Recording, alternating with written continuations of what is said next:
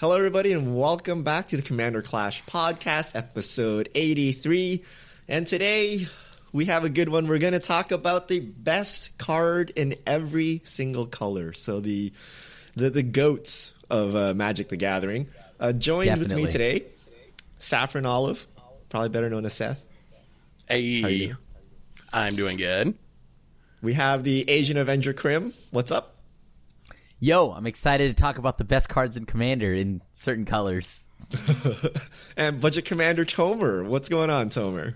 Hey, currently I'm very uh, jealous of the Asian Avengers drip today. Krim, you're looking. the, the swag is really cool. It's so uh, uh, like the the camera loves it so much they green Yes. screen part of it out. I love that, but It I, I love the shirt too much. I got this pup shirt. It's a band. They're It's great. got like a '90s '90s revival look to it. I feel like the tie dye Yeah. effect. and and it matches my hair theme. So it, Yes, that's sick. All right. and if you're curious what's going on, check us out on YouTube where you can actually see the Asians Avengers shirt. Uh, but if you're listening to us on Spotify or iTunes or Apple's, be sure to subscribe. And uh, to finish introductions, I am the Codfather Richard, and uh, we'll be taking you through the best card of every color. Uh, so WUBRG, white, blue, black, red, green. We have colorless, and then we have non-color fixing lands.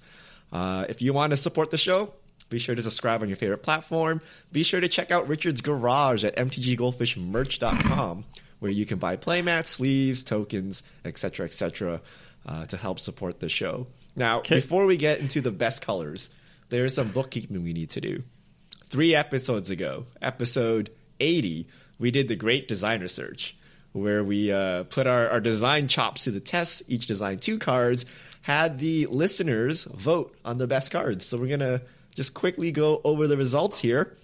Uh, best flavor, marked for completion, won by 31%. Hey. Phyrexian Penny Trade came up second at 23%. Heck yeah. Uh, best gameplay, Sword of Nightmare and Nausea won at 23%, Nice. followed by Asha, Guardian, Guardian Reborn. Uh, best moneymaker category, Deforestation Axe, won by a landslide, actually, 46%. Uh, so Wizards, Wizards take note. Just print incredibly broken cards. yeah, just break the format. Hey, This reason Asha jeweled Guardian lotus exists. Reborn, twenty two percent, and then best overall, the the the ultimate category here. Asha Guardian Reborn takes it home at twenty four percent, narrowly beating Sword of Nightmare and Nausea at twenty two percent.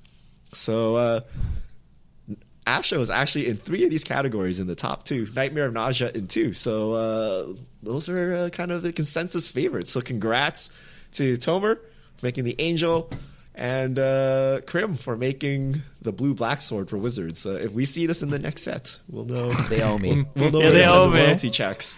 I'm gonna Yeah, make yeah, a big yeah. stink on Twitter that they didn't credit me or give me royalties for making a five color angel the most original idea in the world. The, the most obvious idea, which they've decided not to do ever. They haven't done it for a decade. Like, what are they doing? Anyway, All right, let, let, let's hop. We got a lot of cards to debate, or maybe not debate. Uh, so we, we we do a lot of tier lists on the on the channel where we talk about a lot of cards. Today we're distilling it to the top two, uh, the best card, and then we have a runner up just in case uh, there, there's some controversy or discussion or anything. Uh, we'll start with white. Okay, now white. Uh, I have uh, as number one land tax, followed by Teferi's protection. Seth has Teferi's protection, Smothering Tithe. Tomer has land tax, Smothering Tithe. Krim has Teferi's protection, farewell. Uh, so three Smothering Tithe, or no, two smothering tithes, three Teferi's protections, two land taxes, and then a, a farewell thrown in there. Yeah, you guys Wait. don't have any love for the So- land tax? I think well, I I, think land tax is- is like the most underrated card in Commander. Like out of But that's every single card, list. it's the most.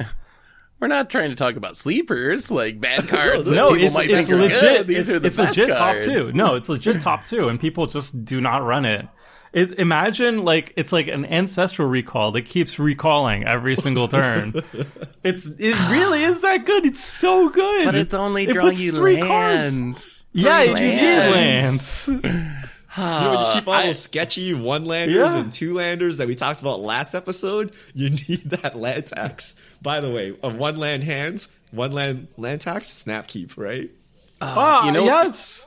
You know what? You know what essentially draws you three lands each turn, but doesn't require you to play 20 basic lands and works in multi multicolor decks without a lot of basics? That would be Smothering Tithe. Smothering Tithe is just like the 2020 version of land tax. It does everything land tax does, except it does it way better. And you get the upside that someone's going to cast a big card draw spell and you get 10 treasures and you win the game. Like, I don't, to me, it's, uh, I mean, I like land tax. It would probably be in my top 10 uh, of But like then you have to run Maybe, basics. it maybe maybe in my top 10 but i think that land tax is just smothering tithe with a lot of downside Absolutely. I mean, So Tomer has I- both there, and he Yeah, so I- actually chose both of them, and he put land tax above Smothering Tithe. Do you still I- stand I'm on by the that? ti- Yes, because Land Tax is a one drop and Smothering Tithe is a four drop. Obviously, I think Smothering Tithe has a more powerful effect, but the mana cost is what's the main difference here. You can do a turn one Land Tax and it feels really good. And the and Land Tax is not strictly worse. It's like there are a lot of benefits to just putting extra cards into your hand because it fuels reanimator strategies and it's literal de- deck thinning. We always like meme about like a fetch land not like being deck thinning, Wait, but when no, you take no, literally no, all your lands, when you take all your lands out, it's literal deck ah. thinning. And, I and like the words Tomer speaking. yes. Uh, get me off Team and- get me off Team And so you draw you draw three cards and it's like great. Like now you have the next three land drops, but then you draw three more cards. Now you get to discard down to hand size. You can set up reanimation strategies. You can discard your excess lanes and get them back with like a Sun Titan effect, um, or a Sevinne's Reclamation, get back two lands, for example. Uh, you could if you're in green, you could like well, you're probably not going to use it in green actually, but in theoretically you could do like Splendid Reclamation and stuff like that. It's like it's like really good. Like it, yeah, oh, you're only drawing lands, but like you're drawing three of them and you need lands. like can't you make those same arguments about smothering tithe be like oh well it's also artifacts entering the battlefield so it can trigger my thing when an artifact enters the battlefield then i can tap them all for improvise like Yes, so, so someone it's can get rid two. of Smothering Tithe, and then you're back to square square one, right? Or I- I- you can never hit your third land drop like Krim and never make it to Smothering Tithe. Hey, it's the fourth lane. Yeah. I always hit the third lane. I know Land go. I never gets go you to over. smothering tithe. Like, Krim that's why I've- not- so Krim chose none of these ramp spells. He chose Farewell to Teferi's Pro. I Are you respect Okay. disrespecting the ramp. Okay, can you wait? Are you saying okay? I'm looking at this list. Tomer, you and Richard choose Land Tax as the number one white card, right? Yes. Over Teferi's protection. Yes. The go-to get at Land Tax is good. Not going to deny that it's good. Teferi's protection. I just want you to like think about this card. That's great. All these resources you're gonna you, like. That's cool. That's cool. And you know what? The specialty here is that Teferi's Pro gets me out of whatever shenanigans y'all are trying to do with that silly mana. I can I can just I have an emergency get out of jail free card. I have a whatever, I'm out. I don't have to deal with it for a whole turn cycle. That is huge. How and and not, it's not only that, it's Teferi's protection is aggressively costed. So I just feel like you having this one-off get out of jail free card no matter what, I'm untouchable is infinitely like how is that not the best card? How many times has this saved everybody when they've casted this card? I would put this I- at I think three it's, it's personally. pretty close. It's pretty close, It's- but I like land tax because you can be proactive with it. So Teferi's protection is a reactive card. Land tax, you can snowball out of control with, or you don't, you don't actually snowball because you're just hitting one land a turn, right? But it gives you like a consistent Yes. game. Like if I was in the You, Hunger you get Games consistent game. You're uber of Magic the consistent. Gathering, like we're get, like you had to win this next game of EDH, and I opened my opening hand. The one card I want to see there is land tax.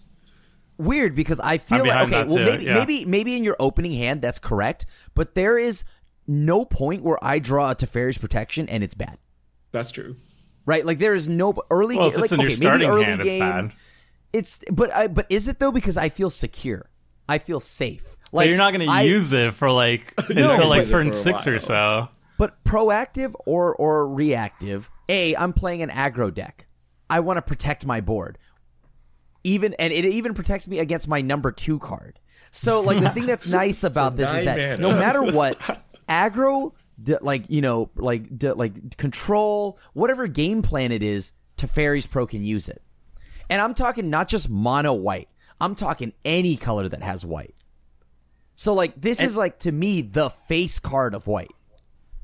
I mean that I would argue that that in Smothering Tithe they're the two face cards of white because same thing you can play it in five color decks and Smothering Tithe's still going to be good. Where Land Tax you're probably not going to play because you need fetches and Triomes and you're just not going to you're not going to be able to get enough lands to actually make Land Tax powerful and you don't want to cut all the powerful utility lands that we'll talk about later to play more basic so you can discard them to hand size and thin my deck. Like no no that's a that's a ridiculous plan. That's a bit of a I So to, to be fair, to be so if I had to go top four, okay, it would be Land Tax, Nefarious Pro, Smothering Tithes. Sure. like like they, they would they would they would slot. They're like very close. Uh, and then puts Seth Smith- mentioned that Land Tax is top ten at least. You're putting it up there. Yeah, it's it's up there. The actually out of all of our lists, the only card that I might quibble with not being in my top five or ten, Farewell is the one that stands out to me as being like, yes, it's really good, but it seems a little replaceable. Part of how I evaluate these cards is like, how big is the drop to the next? uh, What would I replace it with? If I got to replace it with something else, how big is the drop there? And uh, that's why the other thing, reason I think Teferi's Protection wins out over Smothering Tithe or Land Tax is like, you can replace Land Tax with Smothering Tithe, Smothering Tithe with Land Tax, and you'll be fine. There isn't really another Teferi's Protection. Farewell, it is the best Wrath. But there's a lot of wraths in right. Like you got Austere Command, you got Wrath of God, you got Vanquish the Horde, you got Ondu Inversion. There are many, many like similar things. So even though I think it's the best Wrath, it's hard for me to consider it one of the best white cards overall, just because I don't think it's that big of a drop to the next card, whatever I would replace it with in my deck. I, I would Really? argue 'Cause that, they're both. I would argue yeah. the drop is absurd after Yeah. farewell. Like I, know wouldn't it's put it, it may the just first se- wrath. it- I think it- it's the first honestly one. like yeah, this is the It's my number right? four. Every- for me, it would go like Teferi's Pro, Farewell, Smothering Tithe, then Land Tax. Like so, we're like kind of close here, but like I think Farewell is the the drop off to the next sweeper. Even Austere Command, it's not a, Austere Command is nowhere near this. You get to choose all the modes if you wanted to. You get to it's graveyard hate and it's exile. Whatever it is, you're done. It's done. Mm-hmm. I don't have to deal with it anymore. It is permanent, permanence, and I also- I love that. I also think that Teferi's protection is more replaceable than you you would say because clever concealment, for example, if you're if you're using Teferi's protection primarily as a way to just phase out your creatures to or phase out all your permanents, right? It phases out all your permanents. That one can be cast for, for zero mana. So there is like an argument that this that card is a little bit better in creature focused decks or token decks, especially token decks. I think it would It's be even saying stronger. farewell can be Argument. replaced by two wraths or something. Like Yeah. you need like two cards to cover two halves of Teferi's Pro, right? Vandalblast is actually basically farewell because it blows up all the artifacts. No, No, I'm saying farewell is- is- Tefer- Teferi's protection saves you though. Like you're cutting off Yeah. like the entire half of the most important half of the card, which is oh my god, I'm dying. Someone's comboing. I'm not gonna die. I'm the one that lives, and Uh. I untap and get a chance to win. So I feel like Not you're, only- not only that do you logic live- lops off a whole half of the card, the, the most It's, important bet- half. it's I better would than a say. counter spell because Yeah. like you live and Ah. other people die, right? So like It's But an I- I would say the same thing counterspell about that hits Farewell, all though. three players. Like, and you're what, that's you're- way bigger. I, uh, but I'm I'm just saying that as in terms of yeah, Teferi's protection is better than Clever Concealment and Guardian Faith. I'm not arguing that. But when you're saying like, oh, Farewell is so replaceable, you could just replace it with like oh, an austere command or whatever. Like the exile is so huge. It's not. It's not a, a, a fair comparison at all. Like there's so many ways to get that. like to to. There's so many ways that uh, things either are granted indestructible these days or they have like mass reanimation strategies. The fact that you can just get rid of all the problems and they can't ever come back, like that's that's enormous. Yeah. It's just something that you can like, and I would say that the drop off feels a lot like that. It would feel like if I were to say Teferi's Pro one and then I don't know Clever Concealment two, right? Like, Yeah, the, they- it's a big sure, those are good cards, but there is a huge drop between those two. so Tomer And would have I would- farewell in top five, right? You said it, you just Yes. follow up. I would go. I would go Land Tax, Smothering Tithe, to Teferi's Protection, Farewell. Those would be my top four. I, I wouldn't Oh, even have yup. farewell in top five, maybe not even Yeah. top ten.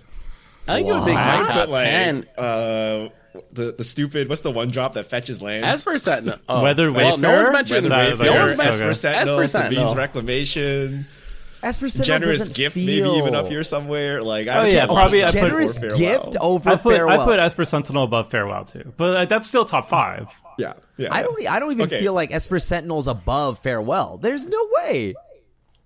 There's no way. This This it draws is so the- many cards. It- in a Yeah, You can so- actually draw your two farewells, like Sure. Austere Command Rest in You- Peace you- off of Esper Sentinel and build your farewell You might with the draw Esper a, Sentinel. A few cards and whatnot, especially if there's Seth at the table who won't pay the one. But the thing here is, But if you draw like two The cards for a one drop, it's like that's so good. yeah, but what are the you drawing, right? Like, what are you drawing? Cards. Not the key, not the okay. But I think the thing is, for me, I've learned over the years that card advantage is not as good as card quality. So But, but what if card- you only put high quality cards into your deck? there, but but no matter how much high quality is, there's always a lesser quality, right? So no matter what, the, Yeah. and like if I know your deck, I'm gonna know there's key cards I'm hating out, right? Like so, if if there's things that I'm more concerned about, like oh well, if all you have are a bunch of artifacts, then I don't care how many artifacts you play. If I exile them all, as a matter of fact, I want you to play all of them into my farewell, right? I mean, like strictly so, speaking, farewell is like way more card advantage than Esper Sentinel because you're probably doing like a twenty for one or something like that off of the farewell. so like Right. technically, Well, the- you're actually one- getting a lot of card advantage off that farewell, but in a in a different sense than you would normally count. and in, in a multiplayer game, you're, uh, it really is a twenty for one because you are hitting everybody, and that is just a house. I mean, it's probably twenty for five or Yeah, seven something or like like uh, the Sure, odds of you having 20 zero permanents is kind of low. But yeah, I, I get what you're saying. Especially like yeah, like obviously in a planeswalker deck it's amazing, but like I'm talking outside of a planeswalker deck. This thing is just I again, I just feel like this is like Richard had mentioned the first board wipe. I don't feel safe anymore Agree. uh, when I go I, if I have a Wrath of God, an austere command. That doesn't mean anything to me anymore. I, I feel like most of the times you'll more likely get blown out casting those things because destroy so many things get around it nowadays. It's just like farewell is just permanence until they make it somehow power creep. I don't, uh, so. I, I- don't see enough farewells on Clash to see this high. That's 'cause I, I think I don't- see way more Ondu inversions because people like are likely to actually play the Ondu inversion because it's a land than to slot you- a specific farewell in.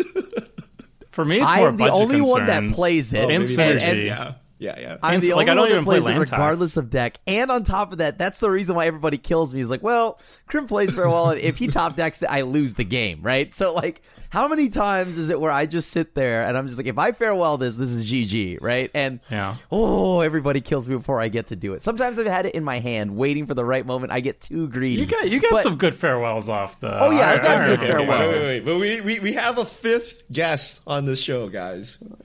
We have EDH Rekchan coming in Yeah. with. Okay.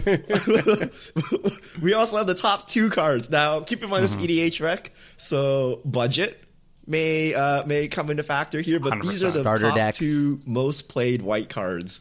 Swords to Plowshares. Oh, Path to Exile. So not not the land tax, not the Smothering Tithe. Is Land tax is like expensive? thirty Well, five they're dollars. Yeah, like Every I don't. card here is expensive that we've Yeah. mentioned. Every card here that we mentioned expensive. is at least ten dollars, right? Like, what's the cheapest Something card? like. Farewell is like Farewell, six, I think, maybe Yeah, it's like seven, six bucks or something. Seven, six. That's the cheapest. Yeah, that's, Would you, that's would, would you guys put a Swords to Plowshares in your top five or ten? No, I would put gener like if I'm if I'm going for budget inclusions, I really like Knight of the White Orchid in white decks that are, that are non green because it's it's a two drop.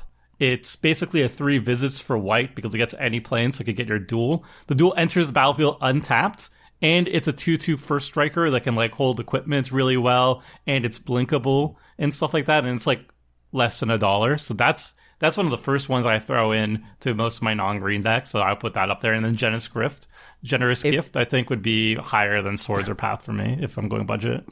Swords and Path, budget, I'm gonna say generous budget, they're- gift than swords. And yeah, I'd also just play those. Those are just good cards, right? Yeah. Like yeah. Swords and path so overrated. They they might be the two most overrated cards in all of Commander. Like Yes, not I- not even close. Seth, I Generous know. gift. Generous gift is is awesome. Like that that should be way ahead of those other two. I would have generous gift in my top five probably. Like every deck I play has a generous gift in it. I usually don't play swords or path at all anymore. Like monocolor, five color, I don't care. It's not worth it. Killing any one thing, even efficiently, is just not. That's not what you want to be doing in Commander. I want to see a debate video between like Seth or and Krim on on spot removal. That that would tickle my fancy a lot. The, the, the biggest I- knock against Generous Gift is Beast Within exists, and it's the same thing, right? But those cards are like really They're the same, yeah. strong. They're really yeah. good though. They're the same, and they're both really good. Like generous gift one, and then swords, but path no, no path. I but like swords Path. is st- oh, like I guess in a mono white deck or something where you can like self ramp. That's like a cool situation, but like. I don't know if I'm trying to self ramp by targeting my own thing here. That never feels good in Commander. You, you you play the Knight of the White Orchid, you ramp, you catch up ramp, and then you self ramp at the path, right? It's like a Yeah.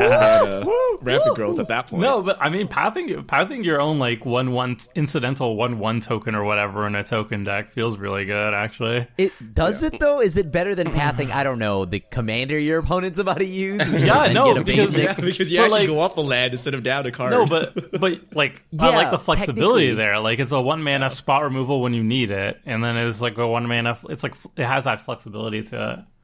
I will, and it's, it's mana fixing, just like land tax. By the way, I run in my three color non green decks. That's how much I like land tax because you, do a turn one land tax. We were talking about in the previous episode about mulligans. I'm like, oh, well, we you have to have your right thing. Land tax. Land tax doesn't say just Plains. It says any basic. So, oh, like I have a I have an it's the only deck reason now. I play basic lands to make sure I could land tax. I've had I have had, good had it in my number. What's the minimum deck. number of lands you need to run for land tax? I've run land tax think- with four basics. I think I think I, I would. Because love you, you're just hoping for the ancestral recall and calling it done, right? I'd say like I'd say like six or eight would be my minimum because yeah, you just need to get three lanes off it, and then I feel Yeah. like the card has already paid for itself. And then any more than that is like, oh well, I have a Sun Titan. I'm going to do some shenanigans with it. Uh, but yeah, like you get like you, you you mana fix yourself, and you get three cards in your hand for one mana, and then anything else is just like the gravy train. So I would say like yeah, six six basics probably would be my minimum. I like okay, I like white, the white- we spent way too long on white. Blue like looks a lot easier here. Oh yeah. Uh, so myself, Tomer, and Krim have the exact same ranking, which is Rhystic Study 1, Fierce Guardianship 2. Seth, Cyclonic Rift 1, Rhystic Study 2. So Seth is the outlier. Cyclonic Rift? How? Wait, y'all don't like Cyclonic Rift? Really? oh, Cyclonic Rift is a house.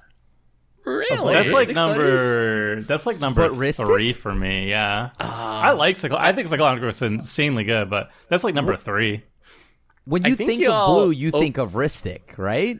And then think- Cyclonic Rift, maybe. See, the difference is y'all always play against me, so your cyclonic rifts are great. I never get to, or my, your uh, Rhystic studies are great. I never get to play against myself. So I think y'all are way more afraid of Rhystic study just because of our play group. Like, I think in a random play group, cyclonic rift is just a better card. But uh, if you're playing against me and always drawing cards, then Rhystic study is great. But I- I Cyclonic mean, Rift I- does something no other blue card can do. Like, if you love Farewell, like it's the blue Farewell, except it's instant speed and it doesn't even blow up any of your stuff. It really is the 20 for one. Like, Risk- every good thing about Farewell is just better with Cyclonic Rift.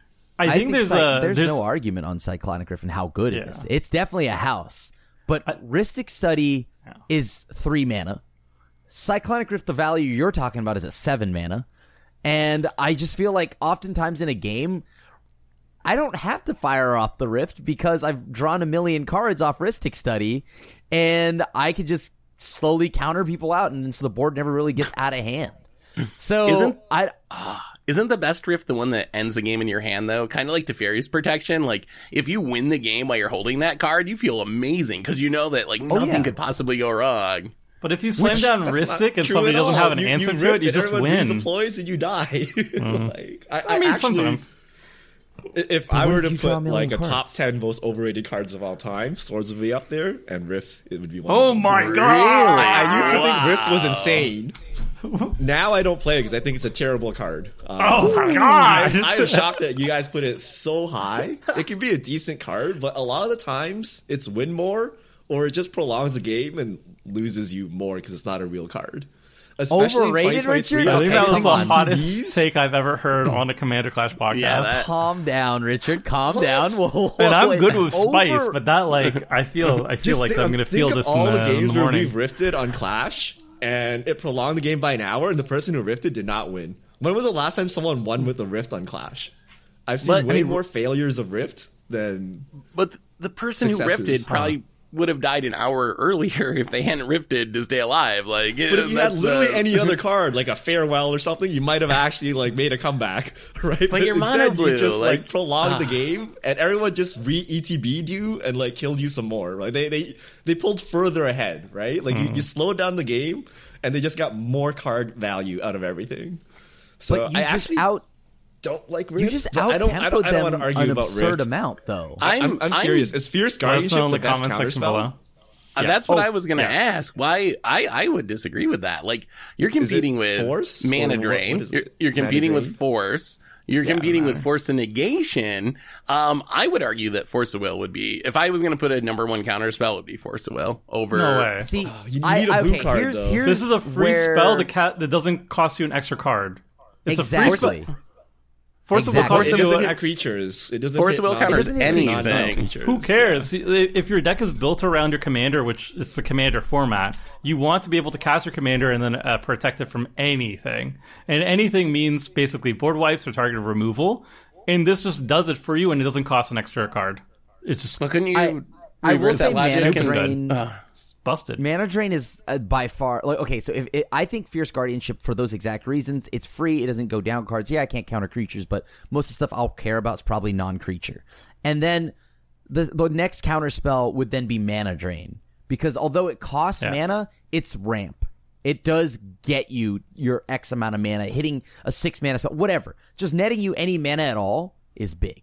So then it's force of will or negation, your choice, probably force of will, uh, and then negation. So I still feel like Fierce Guardianship costs no cards, comes down, gives you a, essentially allowing you safe passage for your commander. I, I love that. I want incentives and reasons to play my commander, and if I get to, I get, I was already going to do it, and on top of that, if I haven't, I get a bunch of value on top. Why the heck not? That's amazing. It's, it's pretty weird for me if the argument's going to be like commanders are so important, so that makes Fierce Guardianship better. Wouldn't that also be a reason that Force of Will was better? Because you can stop your opponent's all important commander that they built their deck around and that is just like controlling the game. Like, uh, to me, that seems like that would be an argument in favor of Force of Will. And remember, you have to have your commander on the battlefield. Force of Will always stops whatever you need to stop there's games when your commander's not sitting out there, and when you're paying three mana for a negate, it's kind of sad. It's not like unplayable, but it's it's not good if you're three mana negating. Like ah, I don't know. So you can you I, can cast a three mana Fierce Guardianship. It's hard to cast a five mana Force of Will.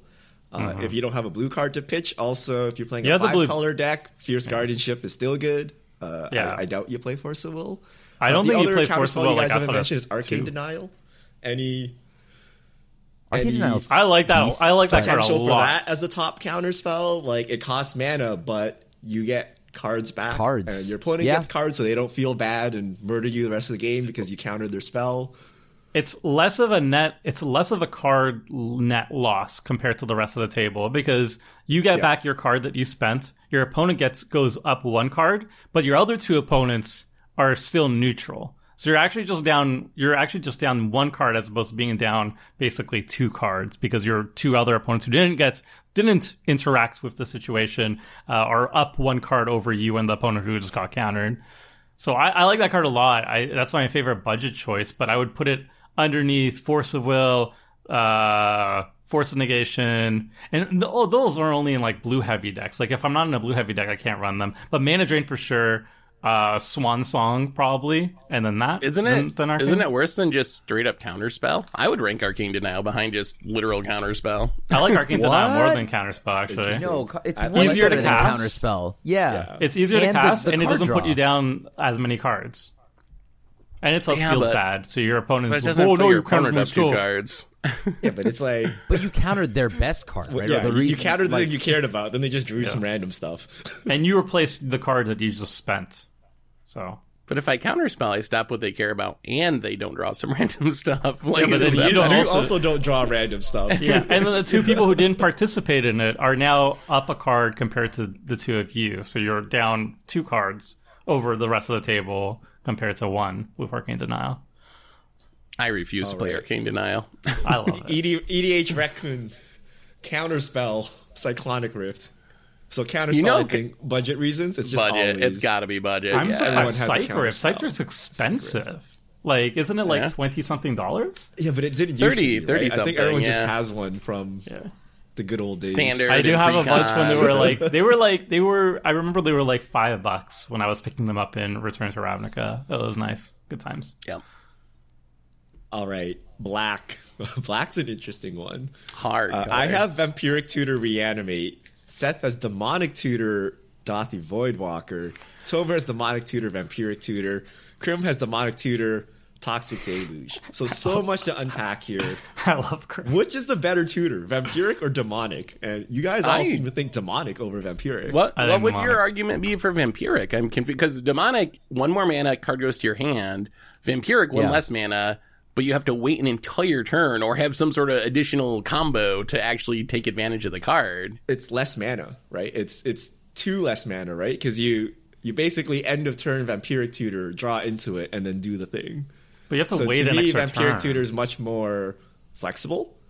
Whereas mm. Vampiric Tutor, you need two mana plus whatever you're trying to cast. And usually by the end of the last person's turn, you know what you're trying to tutor for. So it's essentially a free tutor. It costs you a card, right? It's like card disadvantage. But it's essentially a free does- tutor as opposed to two mana for Demonic Tutor. Vamp Tutor gives you knowledge, like Richard had mentioned, mm-hmm. because you get a turn cycle.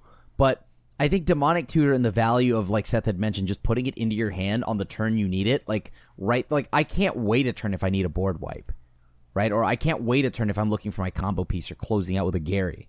Like I, I need to end it now, and that's just going to happen for sure without that- any that, that external only sources. when you draw Demonic Tutor off the top, right?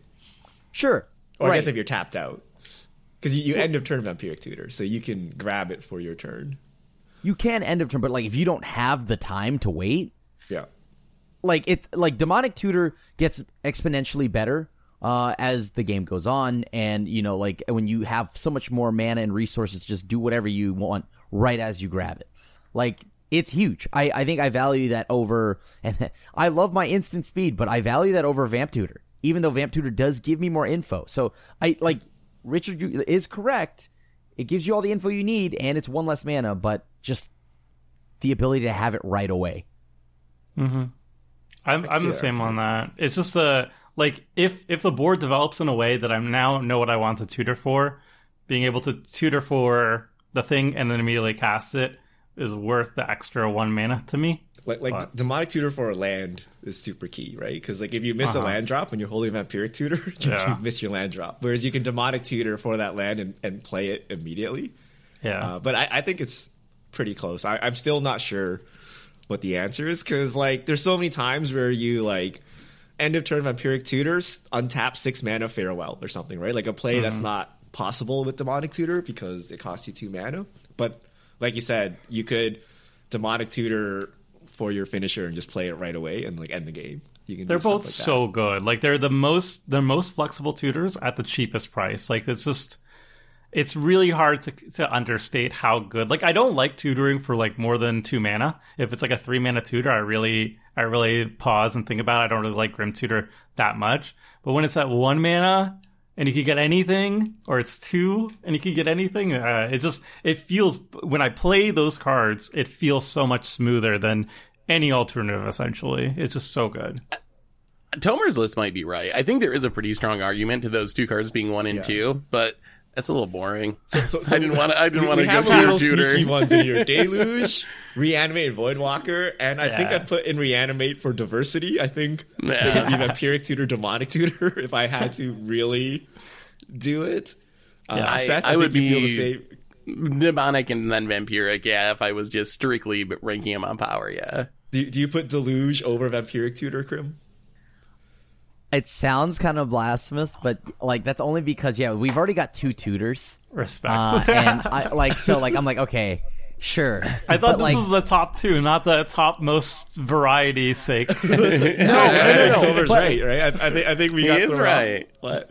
right, I'll is put a right. call Is girl that on. You on like best that? colorless I. I, I think Deluge is Variety. high though. I, it's we- not even a variety thing. Like I would actually think that okay, demonic tutor Let me very just change good, my colorless. and then I I could see toxic deluge being a top like for sure a top three card for me. Um, where it alternates between like vamp tutor and toxic deluge. Obviously, you can vamp tutor to get Toxic Deluge. So yeah, I, I guess that's fair. But Deluge is by far, if if it's when you think of like farewell, it is the sweeper. But like at efficiency and how and like how well costed Toxic Deluge is, it's such a good wrath. It's so a- and it allows me to also play a game plan of sweeping the board and keeping my stuff around, giving things perfectly minus five, minus five for three mana, as opposed to like four mana for a languish or something like that, or not having to blow up my own stuff. This is big, especially when I like example like a demon deck. All my things are six power and toughness. I can do I can for a cheap amount of mana, I can do a lot and I can devastate the board with it. So I really like Toxic Deluge. I know there's other things like there's definitely a card we should talk about that I actually think would be higher than Toxic Deluge, but I think it's just kind of like known that like no one plays it in casual because it's so busted and it's an enchantment. Um, the three mana enchantment in in black, but I think that Toxic Deluge is some is guaranteed to be a top five card for me. I have the same issues with Toxic Deluge as Farewell, where I think Toxic Deluge is the best Wrath in the format, but I don't know if I'd put any Wrath in my like top five or top ten. I think it would be kind of like borderline. I just don't think the drop to like Damnation is that. What about the huge, Meatball like- Massacre? I remember we were like Or- so high on Meatball Oh. Massacre, and it hasn't even been mentioned. Yeah, Krim, like Krim Meatball really loves that. I like Meatball Massacre too. I Wait, what's wasn't it even specific called again? that. I forgot all those what it's games where called. you deluge, you have to pay like 12 life? Now, if you try to meatball, that'd be like a 14 mana meatball. What, Yeah, what's that's the a- name yeah. of the card actually? Is it? That's Meat not Hook Meatball Massacre. Massacre. Oh, okay. Oh, Yeah, the Meat Hook Massacre. like- there it is. I've never not called it that. Like, so, like I just always Yeah, known it as the Meatball Massacre. it. Hey, I, I don't like Toxic Deluge. Like, I think Damnation is, Dude, like, what? This, this Hold is not on. standard where you're like, oh, okay, turn three, I need the Wrath, I'm gonna die, right? Like, you don't need to be that hyper mana efficient. No, but you can Uh, stunt like, what do you- a like, lot I guess of if you're trying to demonic tutor into Deluge, that's five mana, so that's more doable. or you can But- you can wipe the board and then redeploy on the same turn. Like taking your entire turn Yeah. to wipe the board feels real bad. But the difference between three and four is not that much. Yeah. Well, it is when it's there's indestructible, right? Like that's Yeah. the thing. Just nowadays, minus X, minus X, and Exile are just at a premium, and destroy it just is like okay, whatever, What right? about- like But you're, but you're so sad when you Deluge for 12 and then they Teferi's Pro.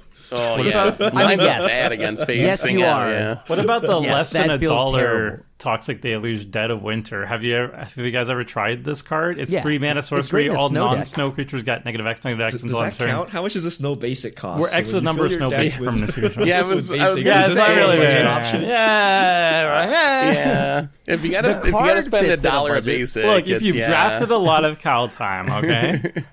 Uh, uh, I, mean, I- Dead- I don't know. We also have Dead of Winter Mutilate. is fine. yeah. Yeah, mutilate, languish, crux of fate. Uh, Krim also alluded those- to this card, but I wanted to also hear your opinion on Necropotence because we don't play that much Necropotence. I know this card is incredibly powerful, but I actually just I actually in in budget list decks I don't run it in all my black decks. Actually, I'll run Demonic Tutor and Vampiric Tutor, but I don't like them in Reanimator decks in particular because it it says whenever you dis- like whenever you discard a card, you you exile it instead. And like I don't know that that's sometimes sometimes that's the thing I'm like nah I don't want to do that. Necropotence is busted. It is right? Like, Uh, it's just like I think the reason why we don't talk about or feel as strong as we should, like, it's not the first card that comes to mind, is because on average, this is not going to be in most decks because everybody just knows it's busted. Yeah, Would is you put it higher than Demonic people and play Vampiric? at I casual tables? I, I would I would put this okay. So if we were just talking about like at a casual table, I'd probably put this for sure at least number two, and if not Really? number one. I dude, no, Wow. Necropotence is so good. yeah. Well, I I mean, mean, I think I think that's Necro fair. is I think that should be your number it one still. then. Like I, I would be it's- tut- like it would be above the tutors for sure. I mean, we're going to be talking about like Dockside and Red, so obviously, like So, if you're playing it's Dockside and triple- The stuff, RC has said that's that's fine at casual tables. It's not strong. then But what's wrong with like- Oh, Necropotence? okay, that's also wrong. So okay, so Necro, like uh, discounting all the casual stuff, it is triple black, so that's a real cost in Yeah. in multicolor decks. That's Right, a problem. It's also slow. Like Yes. you don't get the cards until your following turn. So if you need that wrath or something, that's where demonic tutor or whatever is going to be much better because you get the card right away. And then it does make you skip your draw each turn. So if you want to keep drawing cards, you're going to always have this like delay until the next turn. And there's a life cost associated with it. So I think that Necro, I don't want to diminish its power. It's really good. I would rank it behind the tutors, and I, I would rank it in like the next the next group of cards behind the tutors, alongside the Voidwalkers and Reanimates and so forth, like somewhere in that like top seven or whatever. I think this card's a little bit overrated these days. Because, like, You think compared Necro's to, overrated? Necro? like we have Bolas's Citadel as well, and that that doubles as a an easy combo win with like Sensei's Top Yeah. and whatnot. And that card Phyrexian does Arena? similar stuff. You can't- No, no, come on. Get out of here. drop compared to Necro? Well, I got Blue Sun Zenith. Who needs Rhystic Study? Look, anytime I see somebody resolve Citadel, it, it plays out very much the same as a Necropotence. So maybe that's a small sample size or something, but And Hold they do on, it right dude, away. no, it costs you one. because they can cast those spells for free, right? They cost them life, but like you can immediately, it's like draw plus ramp at the same time.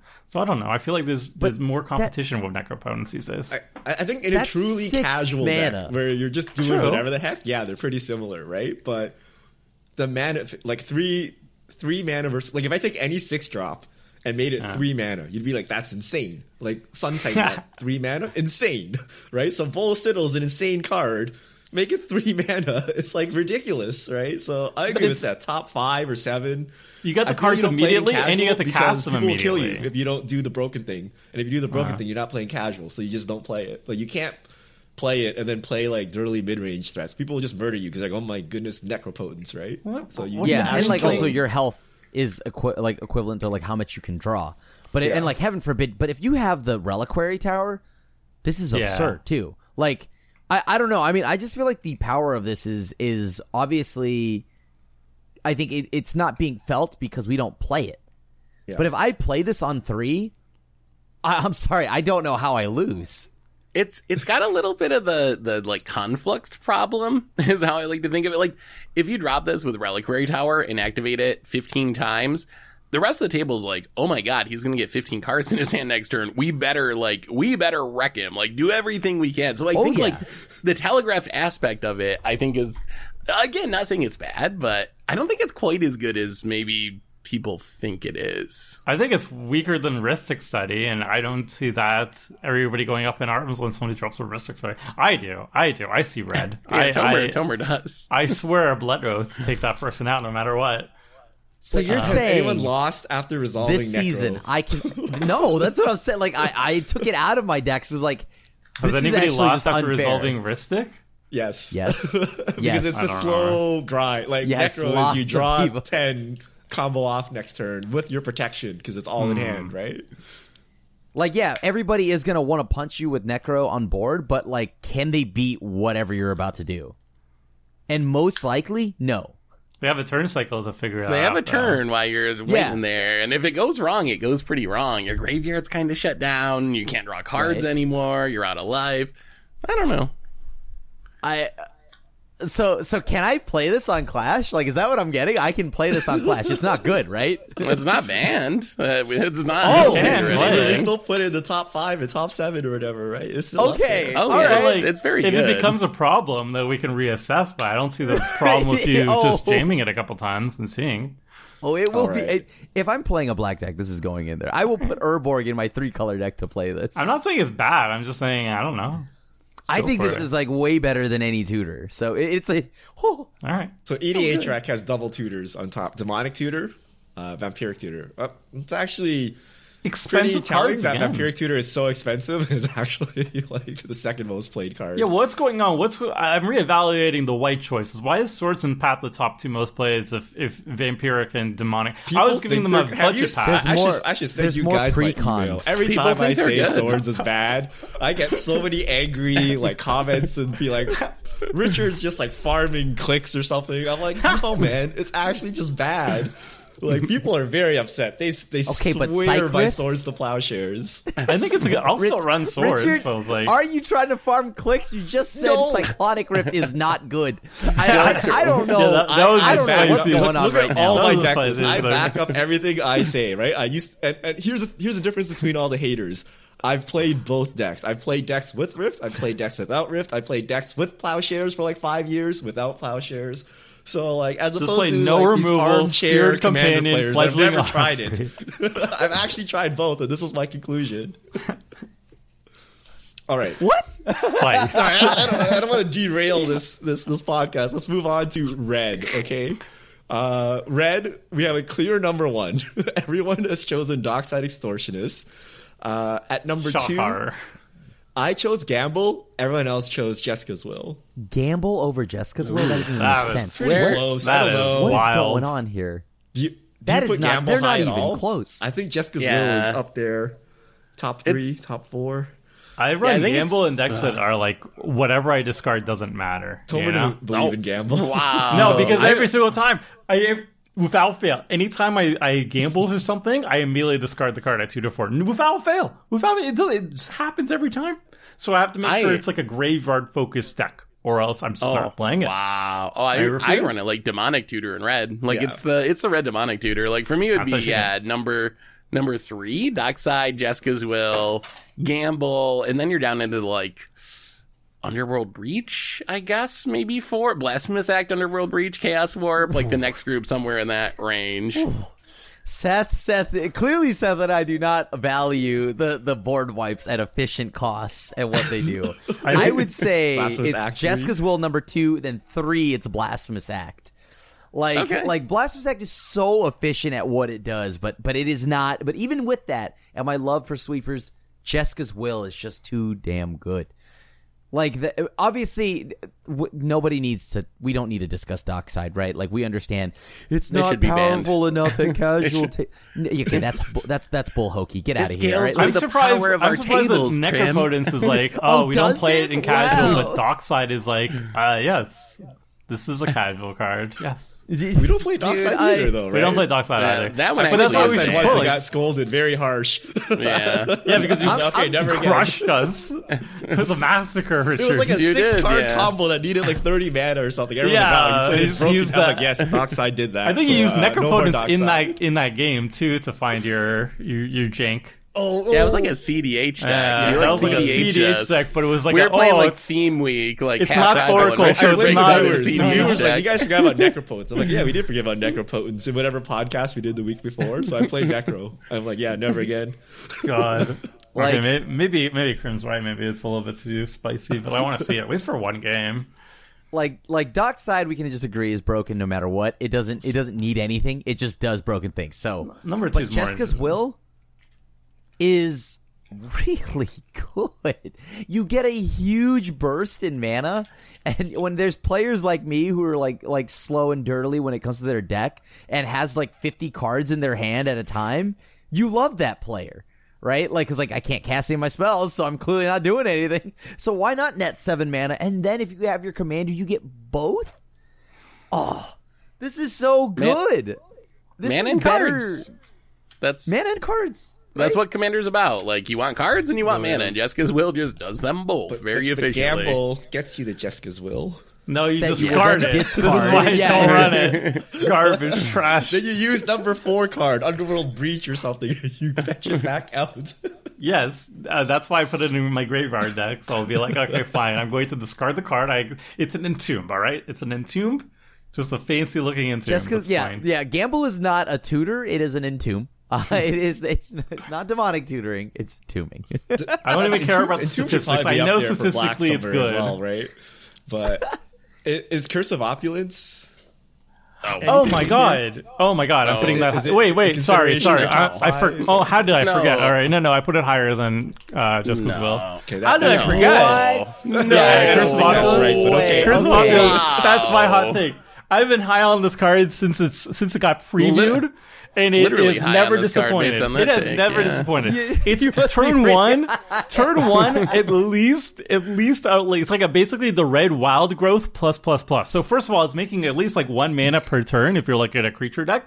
But then it also deters people from attacking you, so it saves you life and it forces people to attack the cursed opponent, where they're going to take more damage. So you're dealing indirect damage that way. Plus, you're generating more gold. So you could instead of just generating like one gold per to- per turn, you're generating possibly two or even more gold per turn cycle, and you're def- you're you're avoiding damage to yourself. So it's it's gaining you life pass indirectly, and it's dealing damage to a person you want to deal, deal damage, and it's mana fixing. It's mana fixing and right, and it's an art of blah. It's so good. It's it's, It's n- so good.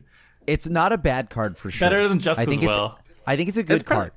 It's a Top good card.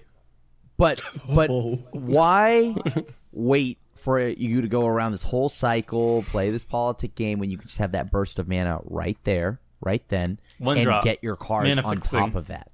You know, you're like, oh, I've got a bunch of extra mana this turn. Well, what if only I had something to do with it? Well, don't worry, Jeska's will will just get you something to do with it. Just So, 'cause like- You also make an me. enemy. You also Yeah, kind of make yeah. an enemy if you just slam that on someone. Like, yes, you- two people are incentivized not to attack you, but one person has to try to kill you because they're going to die because you curse them. Oh, but now they have defenders. So what are they going to attack me with? They need to block, don't they?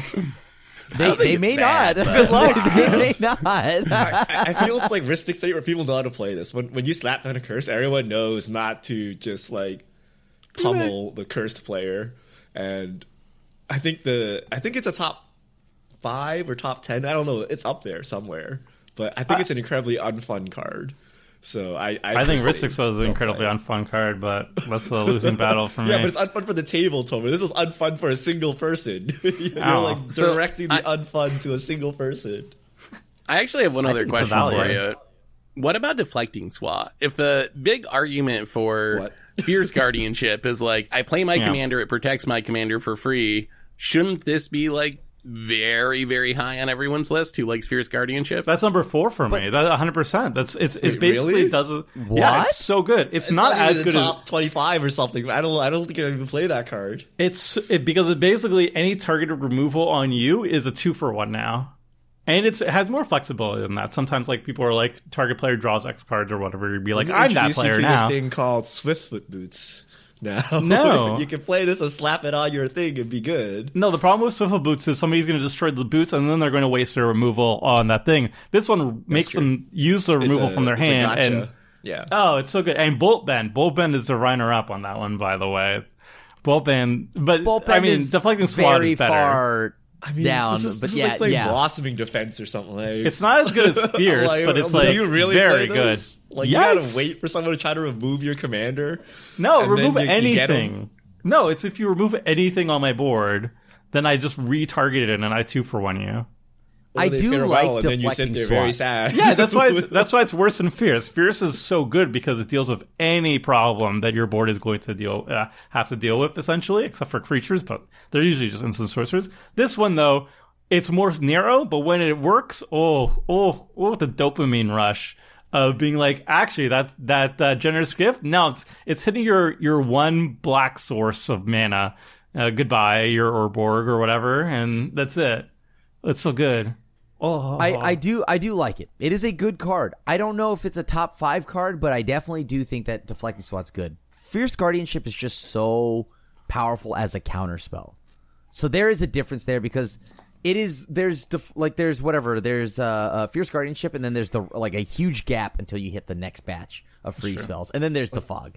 I think I think Like, the far deflecting swat's number the red two. One. Like you get to protect your whole team if that's what you're after, except for like exile effects. I I I do think deflecting swat number two over like flawless Yeah. maneuver. Yeah, because it's, it's even counter magic protection. If somebody tries to counter your spell, you're just like, I guess that's No. fair. That's fair. But it is a good card, so I'm not going to argue that. But there's no way that if you're looking at the top two cards, that deflecting SWAT, Curse of Opulence is better than Dockside or Jeska's Will. Those are just now like the, you're playing a red deck. You're probably starting with those two, and then you go and then you work your way back. I think Curse is much better. I would say just Jeska's Will is tremendously worse in like a five color deck, for example. Whereas Curse, I run it in my in my five color decks. Why not? If mana fixes for me, it's so good. Whereas Jeska's uh, will, what am I going to do with all that five red sources? I'm like, I need green and white and stuff. It's like, blah. So so EDHREC has Chaos Warp Blasphemous Act. We forgot about Chaos Warp. I was like, That's- yeah, It should be up there. I think it, it suffers from the beast within generous. Like there, there's similar No, ones it's worse different than that. it's worse than that because you always Is they it- always hit like it- it Emrakul or something. So it, it actually deals with indestructible things and stuff like that. There's Oblation in white as well. Um, It's in yeah, the same I, I tier. think Chaos Warp deserves to be up there somewhere, top Yeah, ten with- at least. Yeah, it's But up there it- with Beast Within and uh, yeah. the other similar versions. It's it's the red version of that. It's a little bit No, worse but the just because red you can version is much into worse. a yeah. good thing. Well, but they can also RNG into nothing. Yes. like so you get uh, with Beast Within, you guarantee a three three. With Chaos Warp, it lives up to its name. Like it can be nothing. It could be really bad. It's like statistically though, every single time I cast it, you get like the best thing in your deck. I'm like, Tomer just should not You play red should have decks. saved He removal can't for the best thing gamble because he and not- discards his best not remove some mediocre thing that gets spin into the best thing. I have to play red. How else am I going to play Curse of Opulence when on my deck? All right, our most controversial color is green. Oh, yeah, I have never. This is like a top ten list by itself or something. We have so many different options here.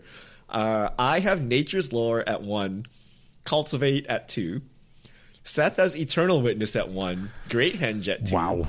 Tomer has Finale of Devastation at one, Yeah. Survival of the Fittest at two.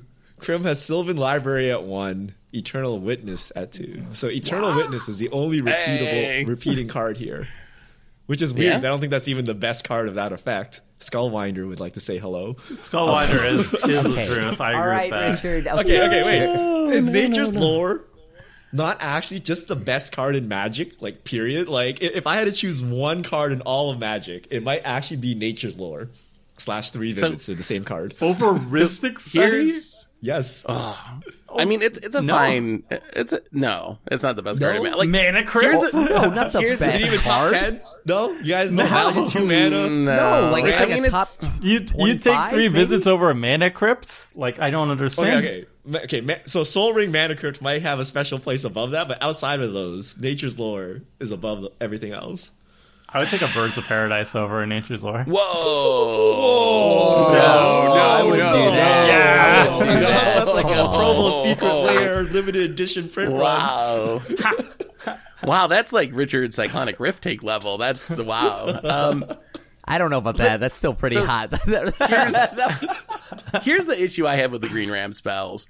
There's a million of them that are all very good. Uh, so I, I can't put them highly on my list. It is a group, they're the most powerful thing that Green does. But as far as individual cards, Nature's Lore, Farseek, Sakura-Tribe Elder, Rampant Growth, sure, Nature's Lore is like, it is technically You're the taking it best of far. those. You can't be like, I, Sol Ring is not powerful because Mana Crypt exists, so I'll just remove this group altogether. like, it is the, The most drop powerful is thing just that Green does, right? Uh, no. The drop is just like not fair. It is ramping is the most powerful thing that Green does. Then rampant growth should be top five, right? Like number one, Nature's Lore. Number two, three visits. Number three, rampant growth. Number four, Farseek. Number five, like it should be like that, right? In, in actuality, right? Nah. I I want my uh, I want my cards to do something that's less replaceable. Like I, I think that's what I Okay, okay. that's what I if- if value you on a could list like this. like four green cards. What would they be? Ooh. Like, so you you can't just like willy nilly sub in random budgets. Like you, you just have four cards, period, right? Like, wouldn't Nature's Lore be one of them? No. Three there's still- visits maybe. But not nature. Also, Lore. why why cultivate over Kodama's reach, Richard? Come on. the Wait, are they actually you're- different? I assume You're they're snubbing exactly the the same. arcane. They are the same. No, it's you can splice onto Kodama's reach, Richard. When was the last time you That's saw anybody happened. splice anything? Yeah, like I, I literally have a Kalamax arcane He deck. has a spirit arcane deck or I whatever. do. Tomer. Maybe- Tomer's like the one person on Earth that's used splice in arcane. It's highly relevant.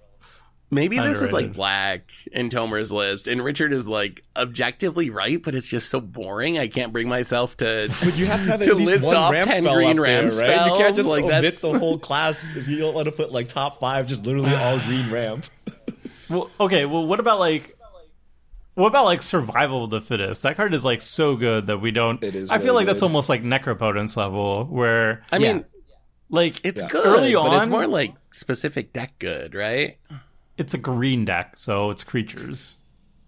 I mean, either don't you're know. in green, you're either creatures or lands. Well, Basically, no, you could be a four color deck with green in it, Sure. but not like primarily. Do you creature do you play that? focused. uh, even if you're just a creature deck, though, if you're just do you just YOLO it and you're like, well, I'll discard something and get something that's slightly bad. I don't. When I think of Nah. survival, I think like really good in like madness or reanimator, like graveyard synergies. I don't know if I think of it as like generically every green deck I play would jam it just so I So can like if, if you play upgrade. wood elves and stuff like that, or uh, like Sakura-Tribe Elder, like Birds Yeah. of Paradise, Birds of That- that Paradise, makes- like that's fodder you can replace with like your bombs if you need to, right? I honestly think Finale of Devastation is better than Survival of the Fittest in most of my casual decks. Like, I do it- not. It's, I, uh, you don't like it?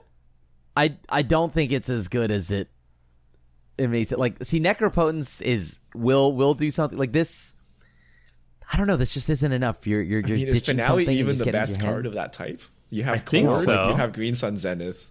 Green Suns only Court. gets green creatures. This one gets it from gets any creature, and it can come get it from the graveyard, Yeah. and it just doubles as a finisher. If you pay can spend ten or more, too. your Yeah. creatures get plus X plus X and haste until end of turn. So you grab whatever you need, and then your entire board, including the thing you got, gets t- plus ten plus ten and haste a minimum. So it's really good. And if that thing is in your graveyard, then it acts as a as a regrowth or whatever too. So It is. It is really good. I have a hard time thinking of it as the number one overall green card, but it is. I initially had Craterhoof on my list, but Finale was kind of the card that made me not want to have it on my list because I felt like Finale can fill that same role and offers flexibility. So uh, they're probably both together, like a little bit outside of my top two somewhere in the top ten for sure, though. I'm surprised that Eternal Witness Yeah, showed Eternal up in both blows Krim my and mind. Sep. I want to hear really- about that. Car- Three good. mana, like just regrowth with the body. Is that really a ah. top ten? It's not even as good as? Skullwinder, though. I don't understand. I think because I think, is on a body that's huge, right? Because then it regrowth, I have to do some weird stuff in green to get that back, like back, right? But like Bala Ged Recovery, Eternal Witness, these are all things that are easily like you know like specifically Ewit, you can flicker, you can reanimate, and usually it chains into getting it back and like cording into it instant speed. Like there's a lot you can Yeah, do with you can- Ewit because it's a creature. You can so finale into it.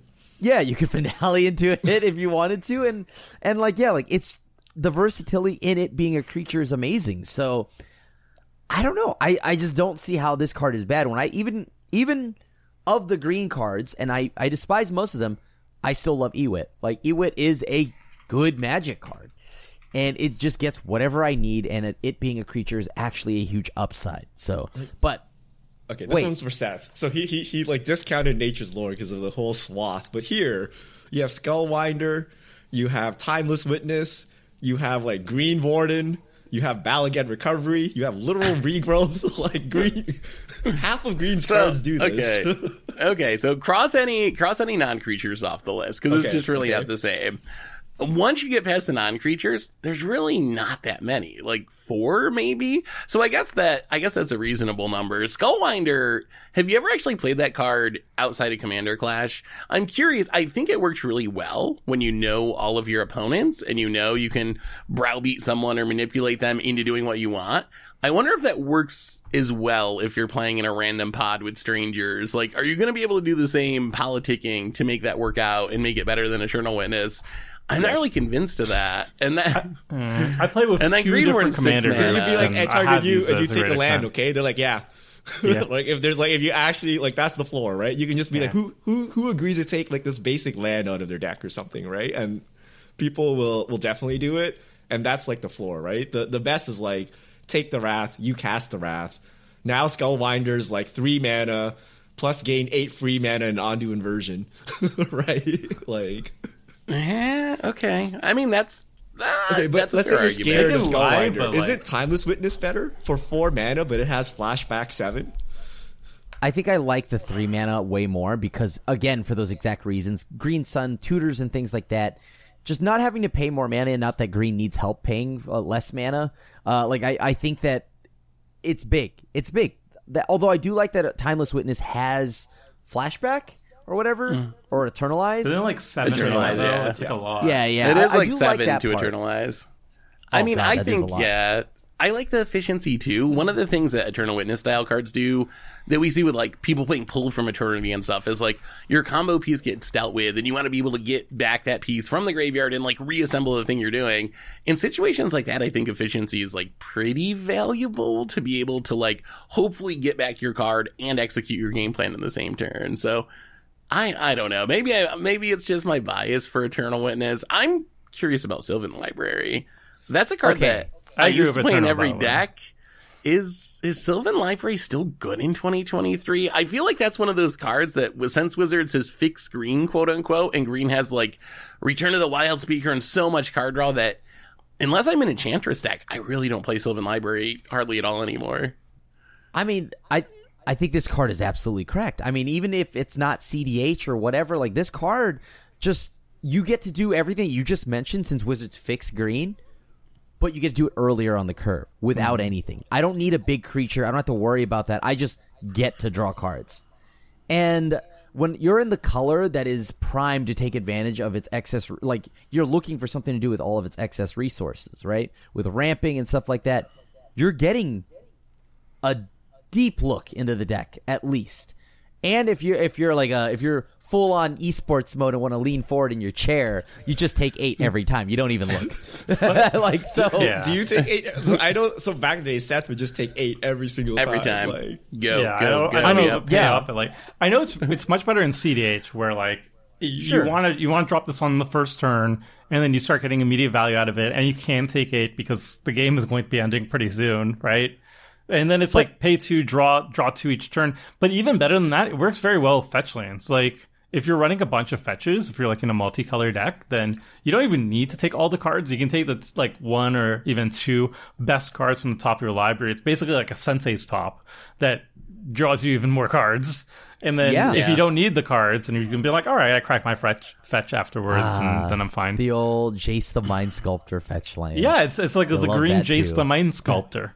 I, This I am is just- more than it's- It's so cheap. It's two mana. It's Yeah. so efficient. And it's, an so- enchantment, so it's just it's hard to get rid of. It's very reliable.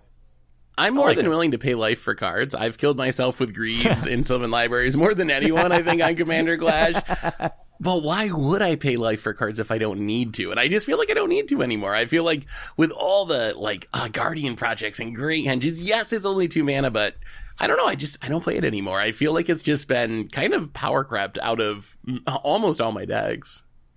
In any like I feel- green I feel synergy deck, I scroll don't. rack. Like people used to be very desperate to like dig deep and stuff, but now you're like, I'll just play Toski and draw everything. Like who cares, right? Or uh, Great Henge, like we have on the list. Like, there's just so much random card draw now that Yeah. you don't I mean, really you're need to do this outside of CDH, right? Because CDH you need efficiency, and life doesn't matter because you're not getting attacked down, right? And you're less heavy I on like big, big synergy. Like if I'm in a creature focus deck, I'm not running Sylvan Library because I just have like I have Toski, I have uh, in uh, Return of the Wild Speaker, I have like the Hunter's Insight and and whatnot. Like there's so many a you billion rely, different ways.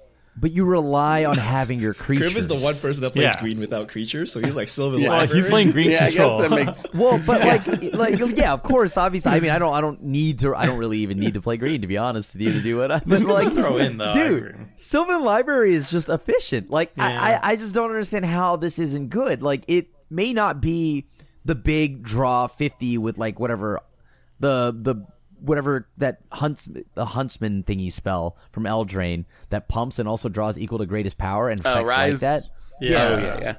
It's not going to be a big draw spell like that, but over time, yeah, maybe you wither your health down, but you may also be scrying or you're essentially uh, getting rid of the excess cards you don't need. Just draw it, get to the next part of your deck. You're digging, you're digging, or like Tomer said, you can also shuffle things back in if you need.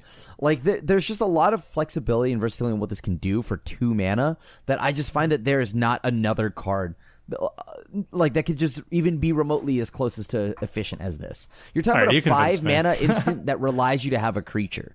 Eh, This is just me. two mana to do whatever at whenever, however you want. Okay, That's we're good. ignoring You- the you life, got but me. it's okay. Okay, Great Henge is the other thing here. Seth has it up here. Seth puts Great Henge above Sylvan Library. Oh, by uh, very far above Sylvan Library for me personally. Uh, Great Henge is the first guy I put on my, all my green decks. Yes, you gotta have a big creature, but that's kind of what green does. And then again, like I think the most powerful things you do in Commander: draw cards and make mana. This does literally both of those things, and it gives you some plus one plus one counters as a benefit. It like even like buffs your creatures as just a little bonus. So I think Great Henge is like And it ramps thing into Uh, number life. two, number two on the on the list, the number two green card. I think it's the best card at what this effect does. Like if you compare it to like Guardian Project, uh, Beast Whisper, I guess yeah, basically anything that's like non-token synergy creatures entering the battlefield. But the reason why I knock it down though is I feel it's even more specific because you can't go in like it doesn't go well in like uh, a token deck, for example, because it doesn't draw off. Uh, well, it it doesn't draw off uh, non-token Of- or uh, token yeah. creatures. And then if you're playing just like a bunch of ones, one ones and two twos, then you still have to pay like seven mana for it or something. I don't know. It's very uh, like if you're playing a big Timmy deck. I think this is one of the best cards in your deck. Yeah, it's but so good. you may not be, right? Like you may be a four color green deck that's just chock full of like ramp and other stuff, and you're you're not gonna have a big enough creature to get this great henge to be useful.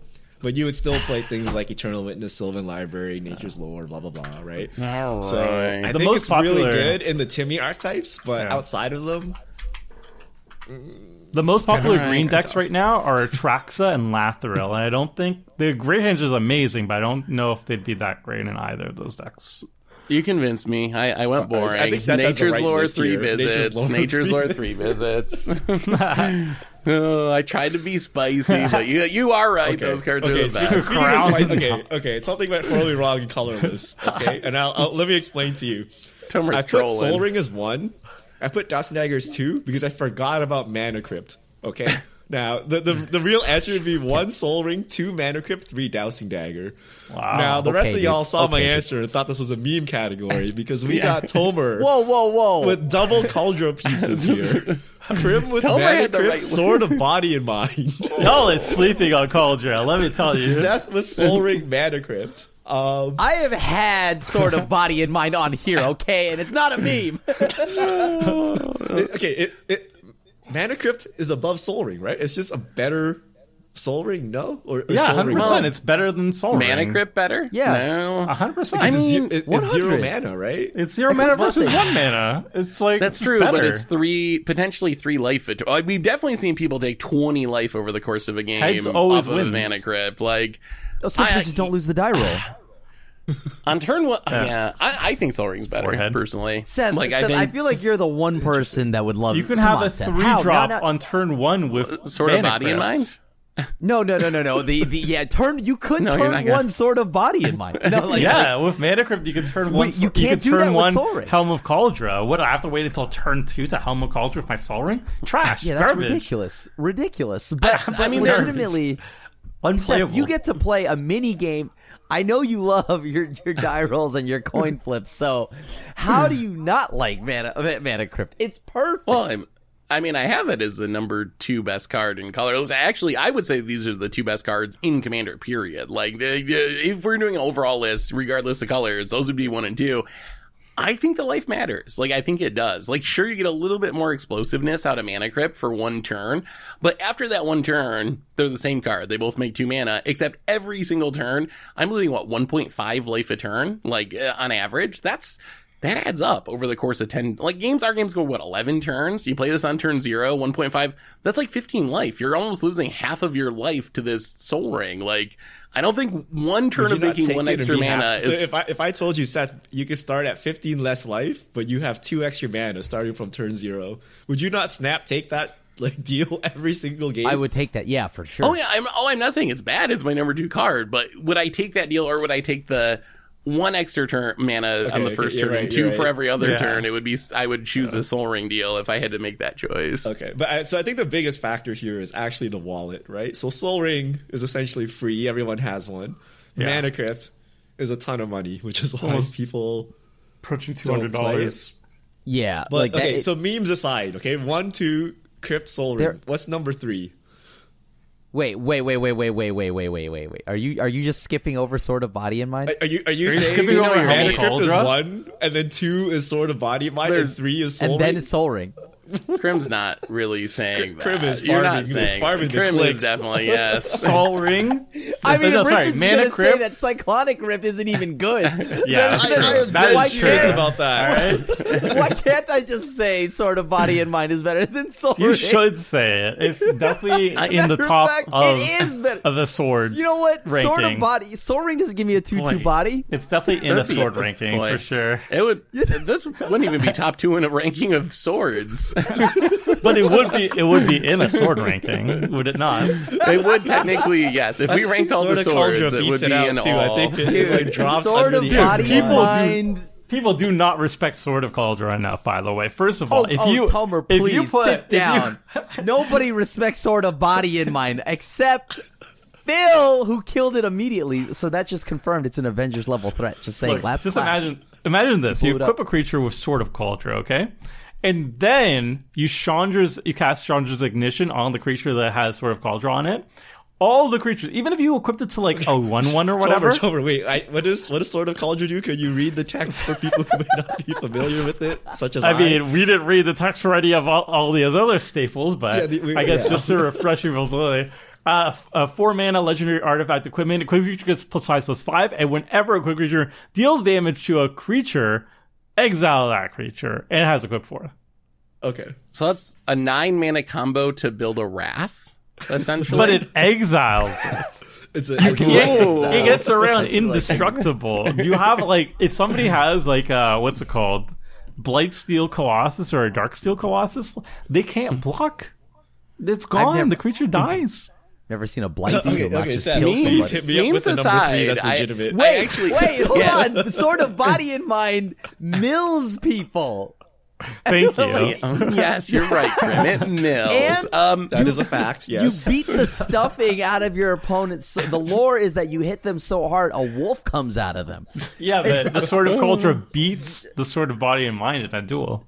Dude, Okay, yeah, so- unless They're your both creature animated. that it's attached happen? to is green or blue, I'm going right around that though, right? all right, So- all right. So, all right. Enough, enough of this sword talk. Memes, memes aside, I think it's actually no memes. interesting. Uh, okay, uh, swords aside, I actually think you. that there's an interesting conversation about what's number two or number three on the list. So. I think you can argue for Mana Vault was a card that I really like, but maybe I overrate it.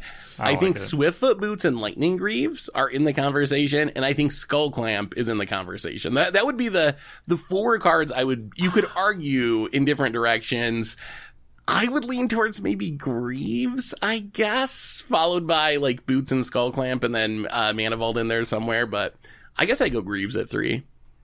Over uh, Jeweled Lotus.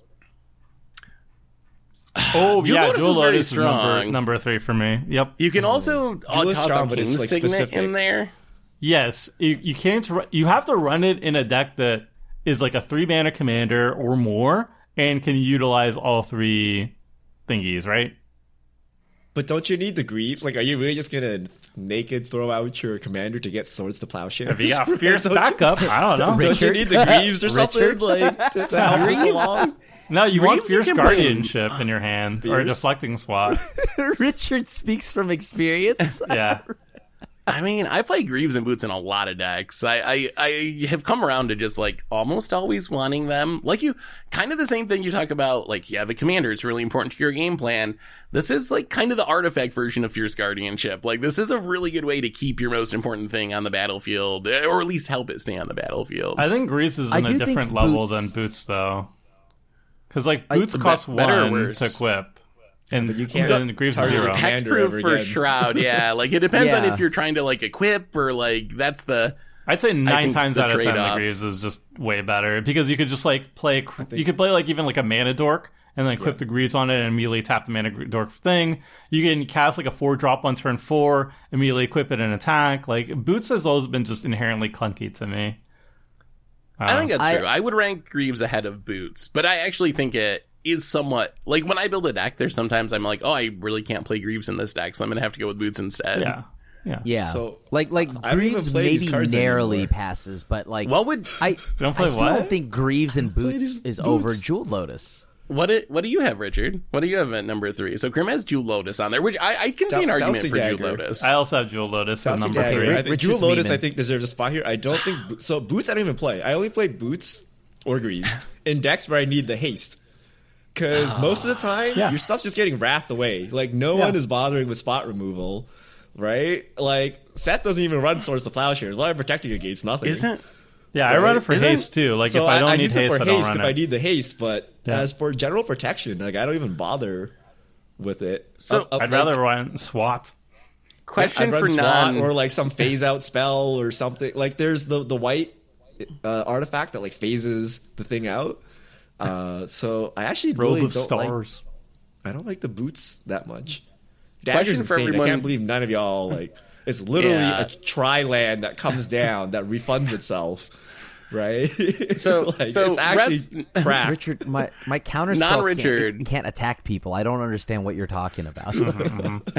non Richard people is dousing dagger just Richard's sort of body and mind? Like, i- is this Okay. Richard's Oh. theme, What or are we imply? taking this? is- Respect it like No, that. I think I think the dagger is Hold really on, good. don't dis. but There are so many implications here that I'm trying to grasp right now. A, what do you mean by that question, Seth? B, what do you mean by that, Richard? That don't do that to my thing. What is going on here? I'm, I mean, dousing dagger is good, but you, you got to be playing a Richard deck, right? Like, that's kind of the.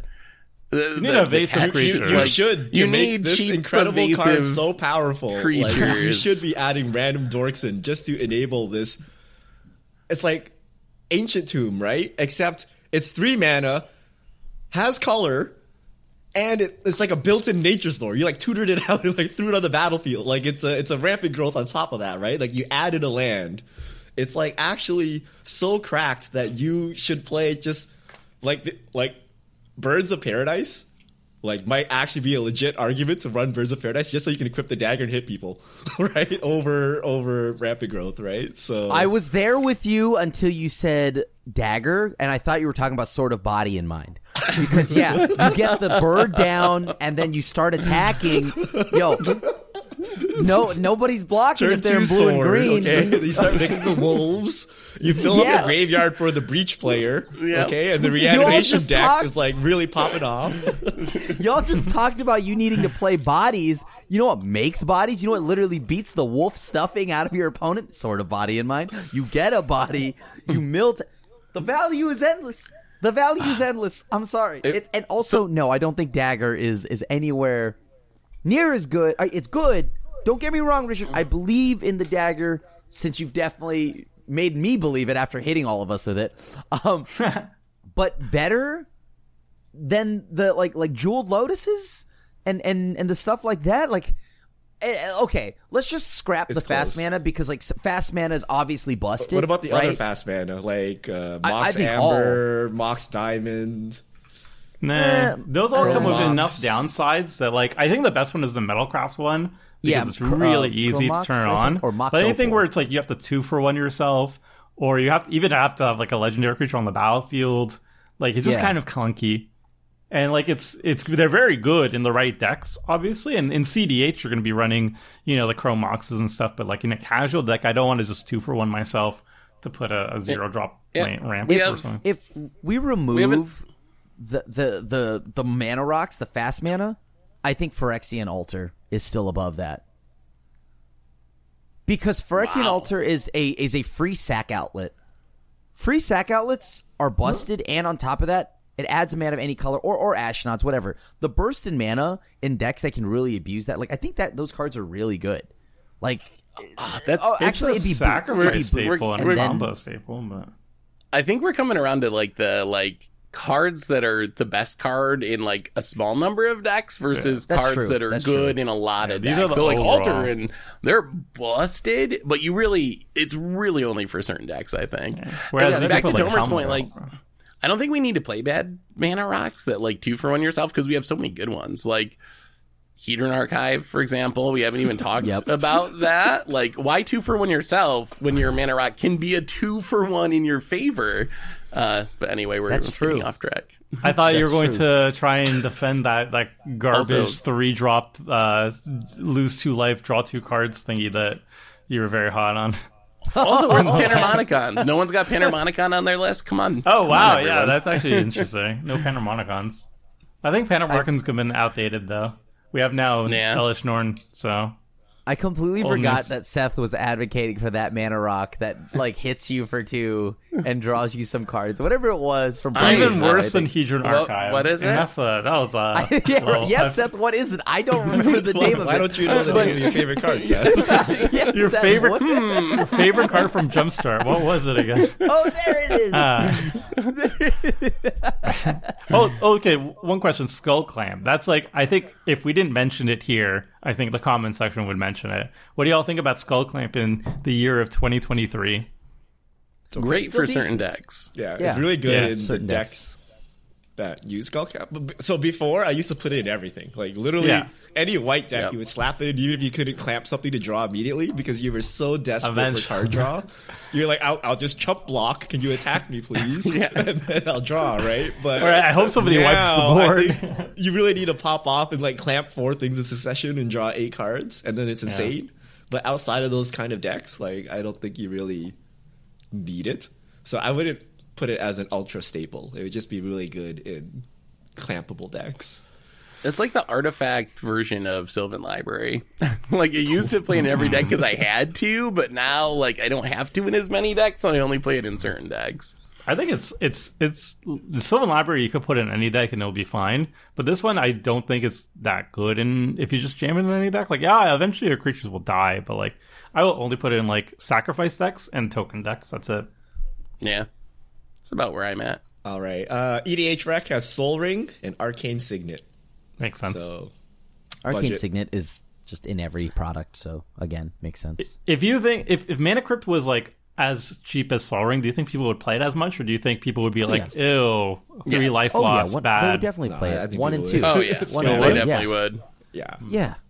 Why wouldn't you want a second soul, or I guess in this case, a second mana crypt, right? 'Cause Sol Ring is the Yeah. second mana crypt, and and yeah, like I I'm totally here for that. I don't know, everyone man. Demonic. Tutor or Vampiric Tutor is top two for black, but then Swords and, and Path is top two for white, and Smothering Tithes is nowhere to be found. I don't know. I Demonic mean, Tutor it- is like twenty dollars. my mind. Mana Mana Crypt is two hundred. Yeah, like, Mana like, Crypt that is like, yeah, in a league of its own when it comes to how much it costs. It's kind of ridiculous. it's good for the format, though. All right, last category: non-color fixing lands. Uh, so I, I, I didn't want y'all to choose fetch lands and, and shock lands and AB, ABU duels. So uh, non-color producing lands. I have Field of the Dead and Maze of Ith. Seth has Urza Saga, Boseiju. It's a little cheaty. Tomer has Gaia's Cradle, Ancient Tomb. Krim has Ancient Tomb, Urza Saga. So two sagas, two Ancient Tombs, and then some other stuff. So I mean- Urza Saga, we like. You, you fetch your Sol Ring out. Or I it's mean, like you're- cracked. Yeah, it's so or, think- a, or a commander's yeah. plate, or or whatever you need, right? Like like that is. There's a lot of good one man artifacts, but yeah, probably Sol Ring.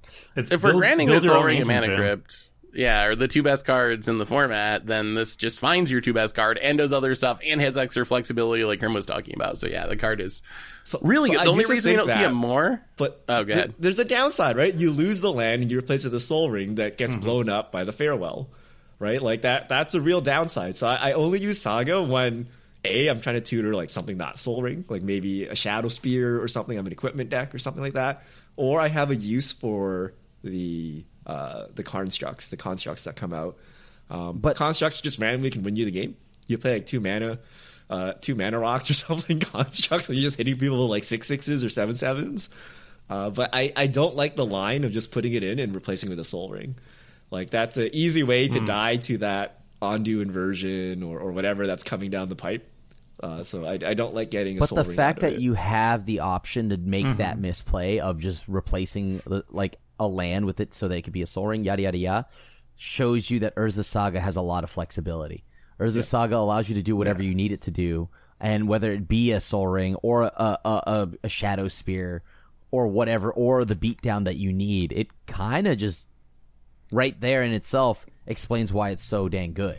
Because it I- does all of that. constructs. Yeah. The constructs are so ridiculous. We've seen them often be like five five, ten ten, sometimes bigger than that. So I think the the upside of just making two of those potentially and tutoring up that makes up for the downside of getting blown out by a farewell or whatever. I also think Yeah. like you need to like I mean this goes right along with Richard and Krim, but you need to have more than one target for this too.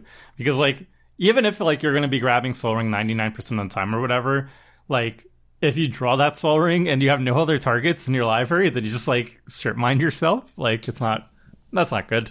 So you should have like two, three targets and then it's very good. I think. I mean, you still An- made some ancient tomb. constructs. I mean, so yeah. Seth, you, you didn't like the, the chance of losing life with a mana crypt. How do we like guarantee two damage every turn? We play games where Krim's at like 18 life, no one's touched him because he's just been ancient tombing the whole time. And then people are like, I'm going to attack the highest. It, it's insidiously good because people are like, I'm going to attack the highest life total, right? Yeah. Because they're they're too cowardly to choose slide to right choose the other one.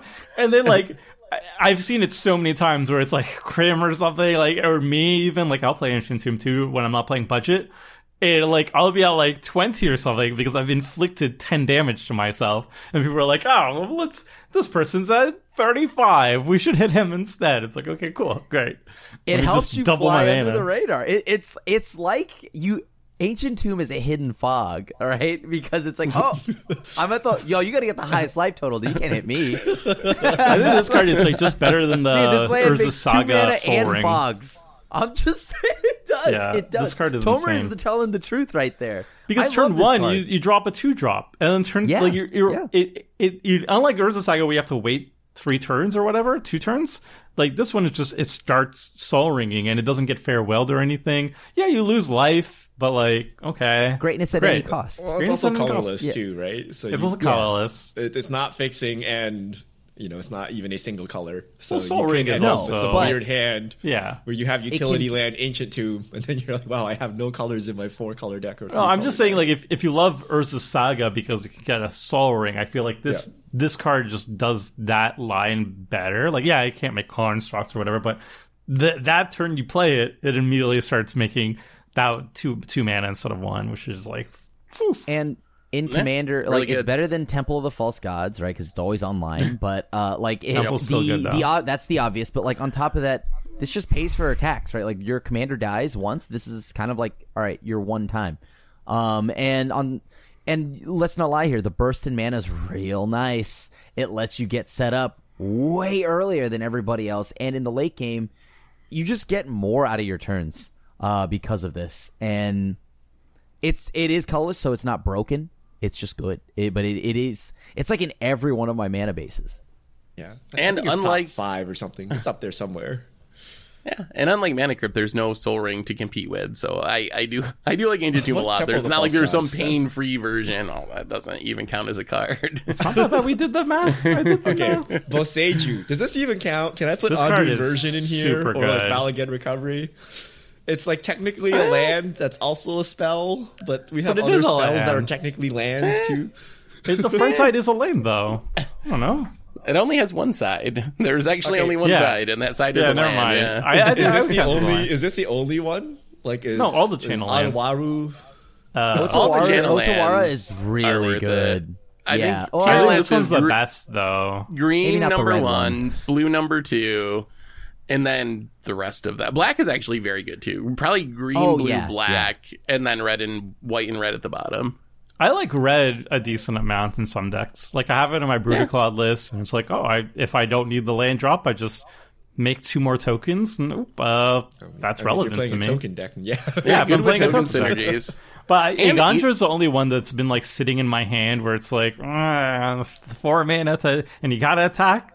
You know, it's, Yeah, It's, it's only three mana, Tomer. Come on now. no But four it's only damage. four I meant damage, four so it doesn't get It's like, it doesn't get everything. I have to wait for you to attack I'm- with it. I'm it's like, I'm oh. curious, Richard. Uh, if you're gonna criticize Boseiju, Mazavith doesn't even tap for mana. Like Hazelnuts is the only card here that I'm like, I will not actually run it. I don't run this card Maze of Ith ever. is actually the most cracked card. You ask how Richard gets away without playing Swords to Plowshares. You ask how he gets without playing any interaction. Because he's mana Maze of Ith- screwed because he's playing Maze of Ith. No, he's so like I can't play better. my I can't play my creatures. My my lanes don't tap for mana. You you play Yavimaya, right? You play Urborg. It taps for mana, Yeah. right? The, the the secret is in green decks. You can tutor this thing out. Like, Yeah. do you know how gross it is if you tutor out a Yavimaya and a Maze of Ith? Like, you basically become untouchable, right? And you don't need to use removal. You don't even need to use wraths if there's only like singular threats. You can just sit around and dirtle. And it's so good that I play the uh, what is it? Thaumatic artifact. Compass. Yeah. There's Cool. a three mana artifact that like searches your library for a land, and then when you have seven or eight or more lands, it flips into a maze of Ith that taps for mana. Well, thaumatic Like- compass is a truth though. Like I know, will run that. That's you like guys one of my mocked me top. so hard for playing that for the longest time. No, no, you're gonna pay three mana to get a swamp or whatever, right? Like, no, because you don't. Yes. You're not supposed to act. Like you can activate it, but you don't have to. You pay two mana, Yeah. and it's essentially it just flips itself. You need like seven lands or something. Yep, It yep, flips yep. itself, and it becomes a land, and it taps for mana, and it's a maze of Ith, and it's Yeah. it's like a two, colorless rampant growth kind of for like the mid There was that one game where Phil was playing like some Voltron General Grievous or something, and I had Yeah. like triple Maze of Ith. I had But you were also playing like mono and a green Vis- fog. and a You were playing mono green fog, and he was not allowed to play the game because his deck was all about attacking. But between that and like a single propaganda or something, like you're like untouchable. You can Yeah. do whatever you want, right? So I I feel this is heavily underplayed. It used to be very expensive because it's from the dark or something, but it was reprinted In, at some internal point. masters. Yeah. Uh, so I really like Maze of Ith. I think people should play it a lot more, es- especially in black and definitely in green. Green's a free roll because you can you can ramp it out. Uh, you can tutor it out. Also, you can tutor out the, the land to make this into a real land as well. I. I feel like Richard, you you secretly, or maybe not so secretly anymore, just like love Ixalan. Why? Why? Richard is secretly a pirate or something in, in his off-screen time because you love Ixalan cards, dude, and like I despise Ixalan. Maybe because of my time in Standard, but like you love your flip cards in it's- Ixalan. I think Richard's right. Richard's well, like thaumatic compass is fantastic. The green one, the three mana turns into a Gaea's Cradle. The is it one that turns into Tolarian Academy. Like those cards are really good. I yeah, I don't know. Do you guys not like Feel the Dead? Does Feel the Dead make? I love top Field of the Dead. I just 10? I loathe it. I, yeah, I loathe it. I think I don't play it out of principle. I don't know, but I also don't mean- think it's that good in all decks. Like if it's like in a monocolor deck, you really have to like adjust things. And if you don't, if you're not also in a green deck, I feel like it's really good in green decks because you can play multiple lands per turn, and that's really good. But like if you just like make one zombie a turn maybe, and sometimes you have like you need seven lands on the battlefield. So if you're like in blue or white or something, I don't know. Like you got at seven, are you gonna keep hitting your land drops and stuff? Like I don't know. Eh. I, It's, I, it's I really think- good. I think it's really good, but I, I just don't think it's better than Urza's Saga or Ancient Tomb. And nobody It has said top- I get think that's Cradle. What, be what's, five. everybody's what's what's happening here? Nobody. I'm the Cra- only one who mentioned good in, like, Cradle. One deck, and then Yeah. not Creatures, useful in every other deck. Like Elf Ball. Like green Elf decks that have Not, not just don't have just be- any creature deck. It has to be like Elf Ball, right? dude. If I have two creatures on the battlefield, two, just two, it's it's a better ancient tomb. Yeah, But if you have zero creatures on the battlefield, Then play a play a creature like your Or what if it's commander, like and now it's one like land, you have that forest and like nature's lore, and you're like so sad. Mulligan it. it's fine. I mean, it Cradle's definitely busted, but I think like uh, it does have a low floor. Like it's not always good. You really gotta you gotta have it in the right deck. I think it's hard to find the right decks for it. Yeah. It's it's either good or it's insane. I think that's those are the two modes What? that I it's see. either with it. insane I- I- or like literal or- or- garbage. Yeah, Yeah, like that. all right, all right, Mr. Maze of Ith in my top two. Oh, I just need to find my Yavimaya or Urborg so it can tap for mana. All right, sometimes the cradle. so good. Okay, although I like I like my lands tapping for eight mana casually in my green that is deck. very all right, good in Elf Ball, Yeah. right? But like, are you really gonna run Cradle? Like, of all your decks, how many decks could you put Cradle in that contained green mana? all of them. Okay, not my Really? Hallar You deck. would? Not my That- Hallar that- deck, but I think all the other ones, yes. If I have like 15 creatures in my deck, I'm I think Cradle's like insane. I, Yeah. maybe maybe Tomer's right. You have one. Cre- all you need is You one have one in your You command need to zone stick at with all it. times. Right. You need a All second. right. cre- You need two creatures. Two creatures and the card's cracked. Anything more than that is like you're winning the game because you're gonna dump all that into a Craterhoof or whatever, or your finale of devastation. But two then you consider creatures. that you play you play the cradle and everyone will kill you. So you actually need to do something cracked.